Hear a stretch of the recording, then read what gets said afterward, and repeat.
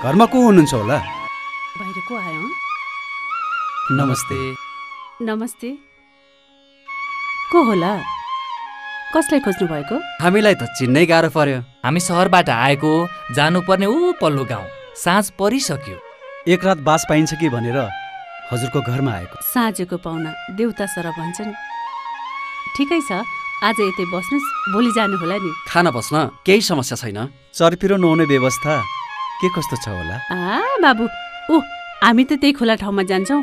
तपाईँहरू पनि त्यही जानुभयो हुन्छ यसरी खुल्ला ठाउँमा दिसा पिसाब गर्नु हुँदैन नि। हामीसँग प्लास्टिक छ। चार पाँचवटा बाँसको व्यवस्था गरिदिनुहोस्। हामी आफै अस्थायी चर्पीको निर्माण गर्छौँ। हेर्नुहोस् यसरी खुल्ला ठाउँमा दिसा पिसाब गर्दा वातावरण प्रदूषण हुन सक्छ। दिशामा लाखौँ भाइरस ब्याक्टेरिया तथा जुका हुन्छन्। यसले मानिसलाई हैजा झाडापखाला टाइफाइड जन्डिस जस्ता सरुवा रोगहरू लाग्न सक्छ। त्यसैले घर घरमै चर्पी बनाउने र चर्पीमै मात्रै दिसा पिसाब गर्ने र गर्न लाग्छ चर्पी नियमित सफा राख्ने घर आँगन टोल सफा राख्ने बानी बसाल्नु अब चाहिँ सारा गाउँलेलाई चर्पी बनाउनु पर्छ भनेर भन्नुहोस् है। बाबुहरूले त हाम्रो आँखा खोलिदिनु। अब हामी सारा गाउँलेलाई यही सल्लाह दिन्छौँ। हस् अब हामी लाग्छौँ। बाबुहरूलाई धेरै धेरै धन्यवाद।